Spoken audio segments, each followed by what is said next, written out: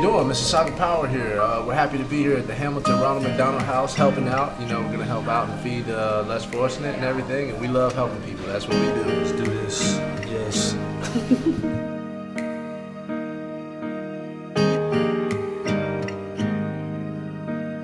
All right, so for today's menu, we decided to go old school. All my favorite things growing up as a kid. So one of the first things is a nice uh, chicken soup.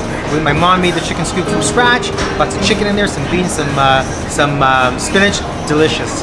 Uh, the other appetizer we have is arancina, which is a rice ball. And inside the rice ball, we put lots of mozzarella. We put it on a bed of green pea puree, which is fantastic, and a nice crispy piece of pancetta on top. Delicious. And then after, for our entrees, we had pasta al forno. It's uh, pasta that's baked in the oven with the meat sauce, and the meat sauce has lots of vegetables inside of it as well, topped with like mozzarella cheese, and it's absolutely delicious. And then we have one of my favorite dishes of all times, eggplant parmigiana.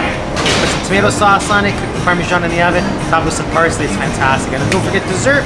For dessert, we have a tiramisu, classic Italian dish, and then we have an angel cake with Italian pastry cream and berries on the side. Enjoy.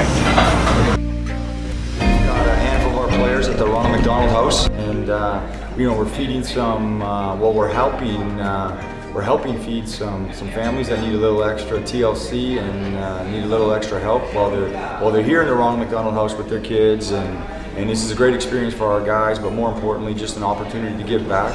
And this is uh, this is a special opportunity, and we're really enjoying ourselves.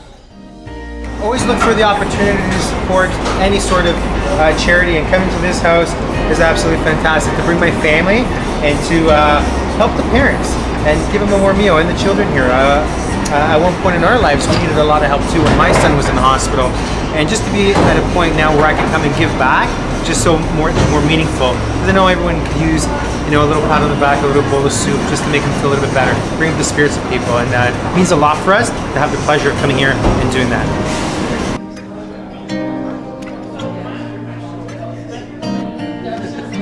Soup.